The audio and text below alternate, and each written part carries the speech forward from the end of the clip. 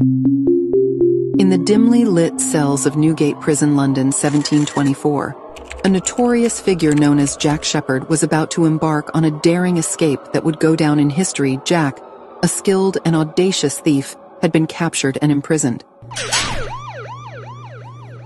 But within the cold, unforgiving walls of Newgate, he hatched a plan that would leave authorities baffled. With meticulous precision, Jack observed every nook and cranny of the prison, memorizing the layout, exploiting weaknesses, and identifying the flaws in its security.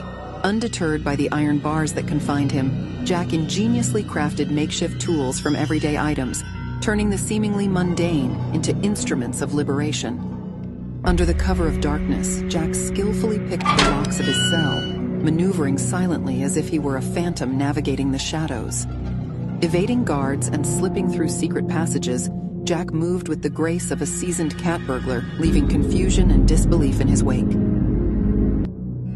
Jack's nimble mind outsmarted even the most vigilant guards as he executed a series of strategic diversions and misdirections, turning the prison into a maze where he held all the cards.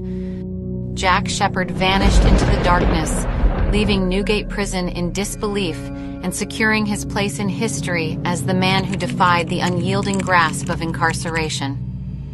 Jack Sheppard was eventually recaptured after his daring escape from Newgate Prison. Despite his initial success in evading authorities, he was apprehended on September 1, 1724, in Wapping. His short-lived taste of freedom came to an end, and he faced the consequences of his criminal activities.